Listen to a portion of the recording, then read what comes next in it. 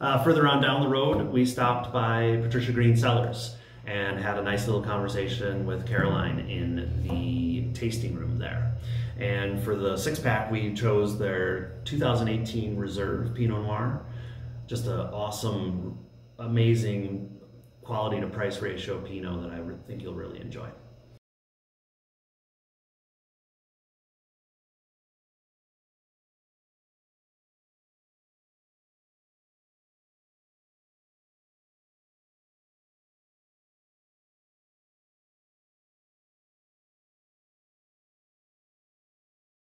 We're here today at Patricia Green Cellars, and um, I'm, I'm, sitting here with uh, Caroline Stoneveld, and she is the uh, direct sales manager here at Patricia Green.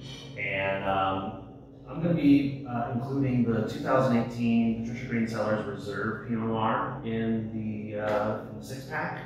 So I just wanted to sit with you for a few minutes and ask you a few questions about, you know, the, the winery as a whole and, uh, and this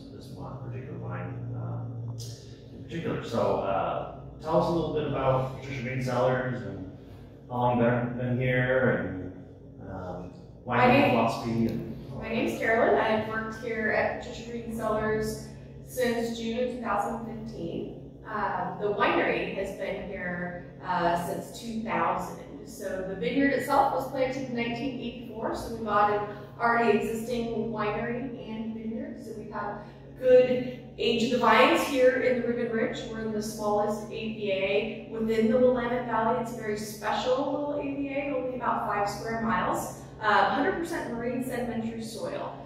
And this particular wine is typically about 30% of the estate uh, fruit every year. This is one of our larger production Pinots and one that we work really hard to make sure that it's really good because this is one of our larger production wines that makes it out in national distribution um, and is a very good quality wine for the price point. So mm-hmm. it's a little um, more affordable on the price point level than some of our higher end bottlings. But I think many people that have been purchasing it over the years would say that it rivals some of those higher end bottlings. So for the price point, excellent Pinot Noir. We find that it hits a lot of, um, it's kind of a crowd pleaser. Hits a lot of people's um, Pinot kind of perfect zone. It's a nice balance between the fruit and the earth, so it's going to be uh, kind of Oregon, but also have some old world characteristics to it too. Uh, we use more uh, neutral oak this one because we know that a lot of people aren't going to hang on to it. They're going to just want to dive into it right away. So we want to make sure that it's approachable and ready to drink kind of right out of the gate. Okay. And but with that, how um, does it have a structure to age, lay down a little bit? Absolutely. We actually just opened in 2010 the other day, and it was so good that we were like, huh, I wonder what the older ones taste like. So we opened in 05, and we were like, whoa, this is amazing still. So definitely you can lay it down for a good 5, 10, 15 years if you like, but I don't think you're going to make it that long. Yeah. uh, about how many vineyards are, are represented in this one? So this is actually a blend of all of the vineyards that we source from. So uh, we currently source from um, the estate property and three sites in the Chehalem Mountains and three sites in the Dundee Hills and then another site just south of the Eola Amity Hills called Freedom Hill. So it's it's kind of a kind of perfect blend of every vintage. Okay. And uh, I understand that you know um, the, the growing of grapes and viticulture is really an important part of what Patricia Green Cellars is.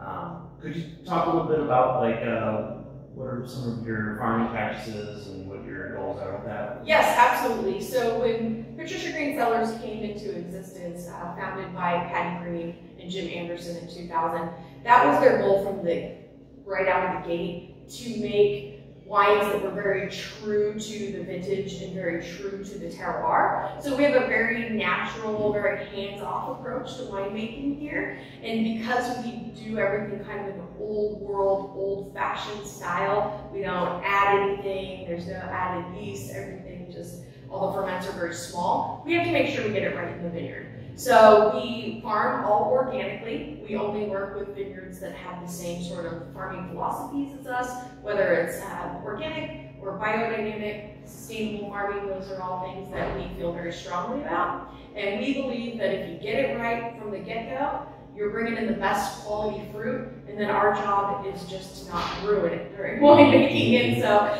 how you ruin Pinot is by handling it too much. So we um, really just let the wines make themselves.